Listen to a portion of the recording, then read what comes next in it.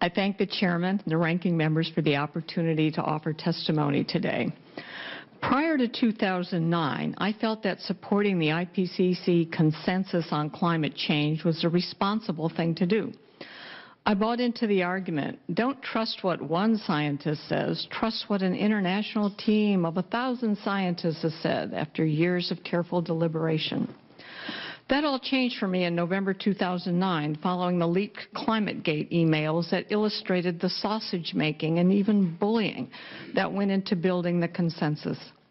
I started speaking out, saying that scientists needed to do better at making the data and supporting information publicly available, being more transparent about how they reach conclusions, doing a better job of assessing uncertainties, and actively engaging with scientists having minority perspectives.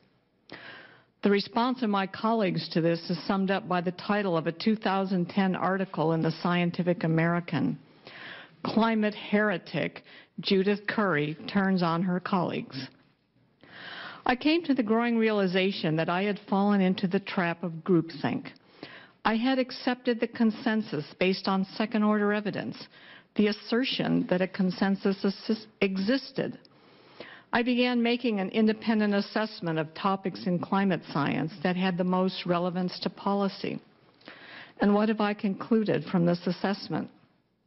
Human-caused climate change is a theory in which the basic mechanism is well understood, but whose magnitude is highly uncertain. No one questions that surface temperatures have increased overall since 1880, or that humans are adding carbon dioxide to the atmosphere, or that carbon dioxide and other greenhouse gases have a warming effect on the planet.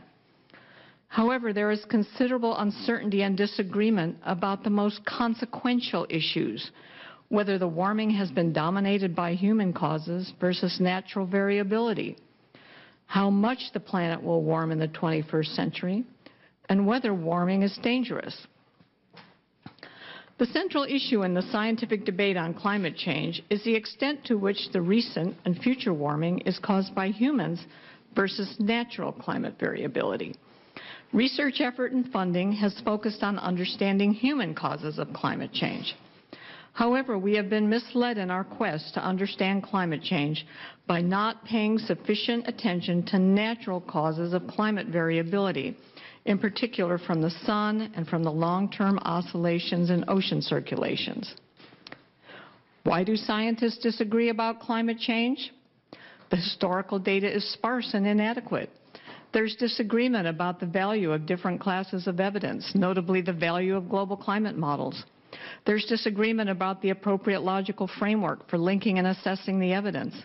And scientists disagree over assessments of areas of ambiguity and ignorance.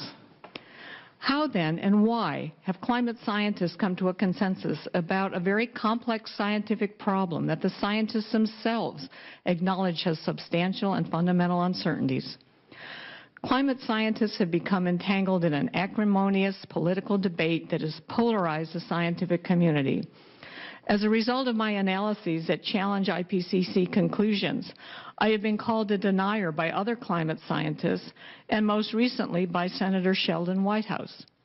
My motives have been questioned by Representative Grijalva in a recent letter sent to the president of Georgia Tech. There is enormous pressure for climate scientists to conform to the so-called consensus. This pressure comes not only from politicians, but from federal funding agencies, universities and professional societies, and scientists themselves who are green activists. Reinforcing this consensus are strong monetary, reputational, and authority interests. In this politicized environment, advocating for carbon dioxide emissions reductions is becoming the default expected position for climate scientists. This advocacy extends to the professional society that publish journals and organize conference.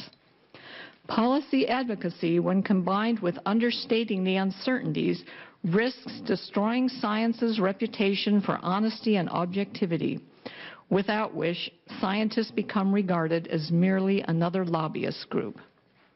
I would like to thank the committee for raising the issue of data versus dogma in support of improving the integrity of climate science.